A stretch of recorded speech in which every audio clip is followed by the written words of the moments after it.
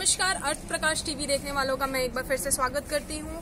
तो जिस तरीके से अभी नगर निगम चुनाव को लेकर मेयर पद को, के उम्मीदवार को लेकर चुनाव जारी है और कहीं ना कहीं सभी उम्मीदवार अपना कैंपेन चुनाव प्रचार कर रहे हैं। तो उसको लेकर ही आज हमारे बीच मौजूद है आम आदमी पार्टी का समर्पित उम्मीदवार श्री पदम गर्ग जी। तो चलिए उनसे बात करते हैं। पहले तो मैं आपका अर्थ प्रकाश टीवी पे स्वागत करती हूँ पदम गर्ग तो आपने आपको आपकी पार्टी को आम आदमी पार्टी जो है वो समर्थ, समर्थन दे रही है। तो उसको लेके आप क्या कहेंगे? किस तरीके से उन्होंने आपको बोला कि हम आपको समर्पित समर्थन दे रहे हैं? उसको लेके कुछ ऐसा है मैं आज़ाद कैंडिडेट के हिसाब से उम्मीदवार बना था। मेरा जज्बा देख के उन्होंने मेरे को समर्थन दिया है और मुझे एक बहुत बड़ा प्लेटफॉर्म मिल गया है आने वाले टाइम के लिए। तो अभी जो ये चुनाव प्रचार जारी हो चुका है कैंपेन चल रहा है तो आप किन मुद्दों को लेके किन वादों को लेकर लोगों के सामने अपना कैंपेन कर रहे हैं और क्या क्या कुछ वादे कर रहे हैं लोगों से? पहले तो वादा नहीं मैं तो काम ही करूँगा। जो पहले यहाँ सरकार में बैठे हैं चाहे वो कटारिया जी हैं चाहे हमारे एमएलए साहब हैं चाहे पुराने मेयर हैं जिन्होंने कोई काम नहीं किया। पहले तो उनको साफ़ करूँगा यहाँ से मैं।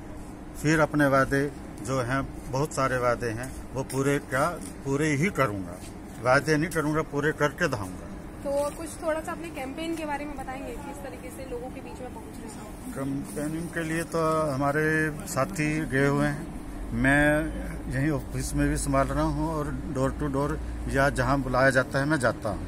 कोई हमारा प्रोग्राम फिक्स नहीं है लोग बुलाते हैं तो मैं कंपेनिंग के लिए जाता हूँ आध पौने घंटे के लिए। क्यों ना तो टाइम है और ना समय है बीमारी की वजह से। बिल्कुल मैं भी करता हूँ दूर रहे वोटर और और थोड़ा सा नजदीकियाना बना के रखें कि इसलिए मैं ना पब्लिक रैली में भी मैं विश्वास नहीं रखता। ये तो अपना चेहरा ही बताएगा इसीलिए मेरे मुद्दे बहुत हैं। पहले तो जो बताया कि इनको साफ़ करना है, बाकी ये जो अग्रवाल धर्म धर्म के, समाज के जो बने बैठे हैं अपने सर्वे सर्वा, इनको हटाना है मैंने। जो गौशाला के प्रधान बने, गौशालाओं की उन्होंने हत्या कर दी, अस्सी गौशाला की, और बने हुए हैं अपने मेयर के कैंडिडेट। उनके मुझे जवाब चाहिए। तो और एक चीज़ मैं देख रही हूँ आपका जो चुनाव चिन्ह है रोड रोलर हाँ जी। उसको लेके क्या कहेंगे? रोड रोलर तो नगर निगम का एक बहुत बड़ा हथियार है। बाई चांस हमें मिला है मैं इसका पूरा इस्तेमाल करूँगा। ठीक है तो जैसा कि मैदान में आज विपक्षी दल भी आपके सामने खड़े हैं एक बहुत बड़ा चुनौती बन के दिख रहा हो कैंपेन के टाइम पे। तो कुछ कहना चाहेंगे कि लोग किसके हित में ज़्यादा आपको लग रहा है? मैं तो एक बिल्कुल साधारण आदमी पहली बार इलेक्शन लड़ रहा हूँ। कोई मेरे पास नेशनल पार्टी नहीं थी लेकिन मुझे अभी लास्ट टाइम में समर्थन मिला है नेशनल पार्टी का लेकिन ना मैन पावर है फिर भी मैं उनको टक्कर दे रहा हूँ।